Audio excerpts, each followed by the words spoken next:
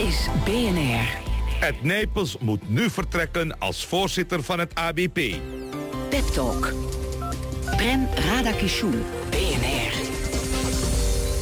De Tweede Kamer nam deze week een wet aan... waardoor het in de toekomst niet meer mogelijk is... dat mensen te veel commissariaten en toezichthoudende functies kunnen invullen maximaal vijf. Volgens SP-Kamerlid Eergang is het, belangrijker, is het belangrijk voor het waarborgen van de kwaliteit van bestuur en toezicht en het voorkomen van belangenverstrengelingen dat iemand niet te veel functies tegelijkertijd vervult. De Kamer stemde ook in met de amendement van VVD'er Frans Wekers en CDA Nicoline Vroonhoven-Kok over de rechtspositie van bestuurders van beursgenoteerde bedrijven. In de toekomst mogen zij geen arbeidsovereenkomst meer aangaan bij de vennootschappen die ze leiden. Ze worden dan niet langer als werknemers beschouwd. Nu de Tweede Kamer dit heeft besloten, hoeven we niet te wachten tot het wet wordt. We moeten nu al beginnen om in de geest van de wet te handelen. Ed Nijpels zal ik u zijn officiële curriculum vitae voorlezen. Ed Nijpels, u weet wel, het VVD-prominente uh, uh, uh, commissariatenverzamelaar. Hij is voorzitter van NL Ingenieurs, dat was voorheen ONRI. Hij is bestuursvoorzitter van de Stichting Pensioenfonds Hij is voorzitter van thuiswinkel.org. Zijn nevenfuncties, lid dagelijks en algemeen bestuur VNO-NCW. U weet wel, dat is volgens uh, het dingetje van de FNV Tuig van de Richel van meneer Wientjes. Voorzitter Raad van Toezicht Reclassering Nederland. Voorzitter Raad van Toezicht Tros. U weet wel, die de reclamecode had, had overschreden... door zich helemaal te laten sponsoren. Voorzitter Boschap. Voorzitter Raad van Commissarissen Tingueli. Voorzitter Raad van Toezicht van de Raad voor Accreditatie. Voorzitter SENA, dat is Stichting ter Exploitatie van Naburige Rechten... voor producenten en uitvoerenden. Voorzitter Stichting Milieu Centraal. Lid van de Raad van Commissarissen van de Siersgroep BV, voorzitter van de Raad van Commissarissen van Peuten Papier Recycling BV, voorzitter Raad van Commissarissen van Malta Recycling BV, voorzitter Klimaatcentrum Internationale Rode Kruis, lid Forum van A tot 6, dat is de Stichting voor Lezen en Schrijven, voorzitter Taskforce Huisvesting Gepadoneerden in opdracht van staatssecretaris Al Bayrak van Justitie en minister Van der Laan van Wonen, Wijken en Integratie, lid van Raad van Advies ECP.nl voortvloeiende uit het voorzitterschap van Thuiswinkel.org, voorzitter Stichting Energieprestatiekeur, voorzitter Ronald McDonald Kinderfonds, voorzitter Stichting Garantiefonds Gerechtdeurswaarders, voorzitter Stichting Sterkin, voorzitter Maatschappelijke Adviesraad Waddenacademie, voorzitter Stichting Water for Life, voorzitter Abbe Bonnema Stichting, voorzitter Stichting Instandhouding Klokkenstoel en Begraafplaats Dijken en voorzitter Geobusiness. Wat hier niet bij staat, is dat hij tot voor kort jarenlang commissaris was van de DSB-groep... en op het laatst president-commissaris... en toen het schip ten onder ging, hij hard de benen heeft genomen.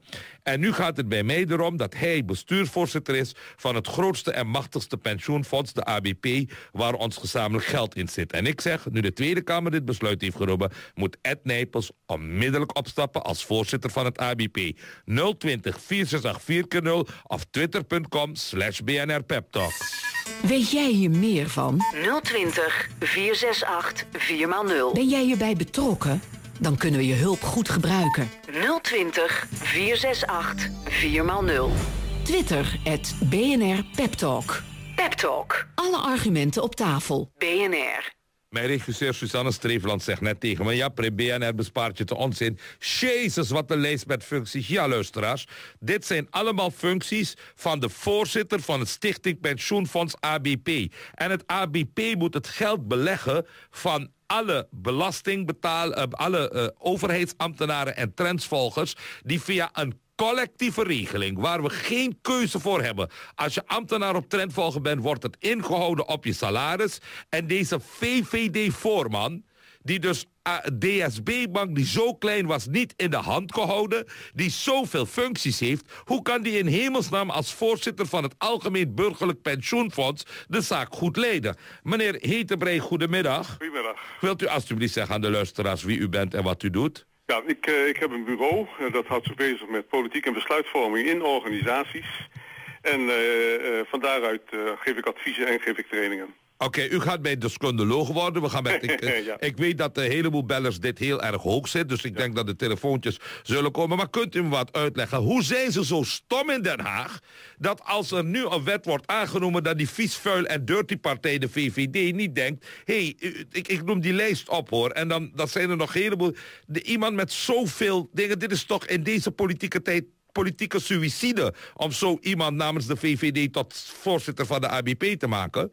Eh, eh, het is op dit moment denk ik gevaarlijk voor iedereen die aan de top van het bedrijfsleven zit. Eh, maar alleen, ik, ik ben het niet helemaal eens met de stelling. Ik heb even een vraag. Eh, ik heb eh, eh, Ed Nijpels, die heeft inderdaad het voorzitterschap van het ABP aangenomen. Heeft tegelijk gezegd dat hij al zijn commissariaten zou afzeggen. Ja? Eh, he- heeft u nagegaan of eh, in hoeverre eh, eh, datgene, die lijst die ongetwijfeld waar was, in hoeverre die nu nog klopt? Ik heb dit vandaag van de site van NL Ing- Ingenieurs...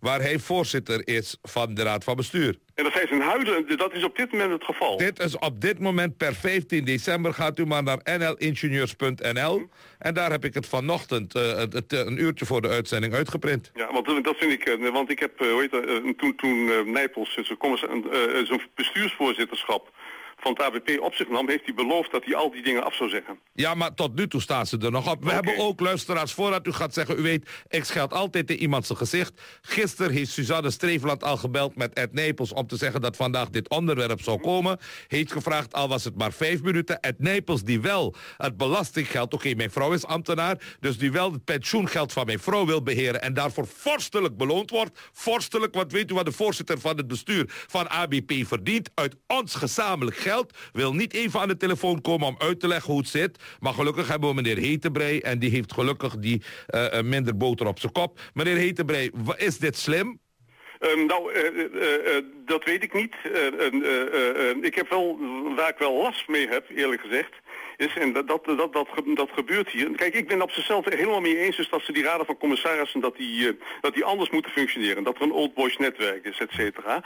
Maar de manier waarop u het nu aanpakt, Eh, dat is weer een bijdrage aan het spel van, eh, van het geliefde spel van koppersnellen. Ja, maar in ik wil het En dat- en dat- Weet u dat waarom, leidt alleen meneer uh. Ik ben woedend. Ik Ja, ben woedend dat er schaamteloos niemand wordt afgerekend. Die man was president-commissaris van DSB. Ik heb met slachtoffers gesproken van de DSB, meneer Hetebrei. Ja. Mensen sturen me brieven. Mensen denken dat ik machtig ben. Men, ik zeg ook tegen die mensen, ik kan niets anders doen dan een programmaatje presenteren. Mensen huilen over wat DSB... Voor deze man was jarenlang commissaris. Was president-commissaris, terwijl Schering gewurgproducten kon afsluiten. En die man zetten we als belangrijkste man... over onze gezamenlijke pensioengelden... en geen haan die ernaar kraait. Nou, ik weet niet of er geen haan naar kraait, want er komt een onderzoek hè, van, eh, de, van de commissie Scheltema. Ja, en dat Helaas, onderzoek... de- helaas deze maand niet, maar eh eh, Nijpels zal zich ongetwijfeld daar te verantwoorden hebben. En volgens mij zal hij zich ook binnen de ABP te verantwoorden hebben. Hoe dan? Het is Dan- een dan Old Boys. Daar staat ABP staat gewoon voor de vraag hoe ze, hoe, hoe ze dat moeten aanpakken. Ja, maar kijk, ik, ik, ik begrijp de kwaadheid heel goed hoor. Alleen wat, wat er op dit moment gebeurt, en nu, nu richt hij zich op Nijpels en zo straks richt hij zich op anderen in Nederland. Ja, de volgende moment- is Wiegel. Ja, Want er ja, is een heel rijtje. VVD'er patjepeers... die zogenaamd pleiten dat ze voor ondernemers zijn... en ondertussen uit ons belastinggeld en het collectieve ding, eh, ruif... graait en vreet en vreet en vreet. Ja, maar meneer Radek- Radekrishan, wat u eh, het vervelend is, zo komt van, vanuit eh, rechts, komt weer eh, eh, eenzelfde type aanval op de linkse kerk. En dan gaat het daar weer van, eh, van, van jeetje. Leven de is- polarisatie. Waarom mag alleen Wilders polariseren? Nou, het, het, het kan, het kan, eh, als je van twee kanten polariseert, dan is uiteindelijk eh, is het zo dus dat je eerder dus via volksgerichten op een bepaald moment mensen gaat pakken, als dat je dat doet eh, eh, via, via, via een goed, goed, goed geregelde procedure, waarin iedereen de kans krijgt om op een bepaald moment gehoord te worden. Meneer Meijer uit Amsterdam, goedemiddag. U bent er natuurlijk helemaal mee eens dat al die barbertjes moeten hangen. Ja, nee, kijk, maar ze zijn nog niet veroordeeld, Prem. Dus eh, eh, noem, maar, noem, maar, noem maar René trouwens, eh, als, je, als je wil. Gaat gang. Maar het, het, het punt is, ze zijn al met het onderzoek bezig. En natuurlijk hebben ze boter op hun hoofd. En waarschijnlijk komen we daar ook wel achter in januari, wanneer het onderzoek is afgelopen. Oké, maar René, luister, hou je- even aan. René, hou even aan. Luisteraars, René gaat zo verder. Komt ook meneer Karim, 020 464 kunnen we na weerverkeer en de nieuwsupdate. En mijn vraag is, moet ik op deze manier deze patjepeers uit mijn machteloosheid aanklagen? Of moet ik een andere weg ingaan? Want ik zeg, je kan niet zo hard mogelijk zijn tegen mensen die vreten uit ons...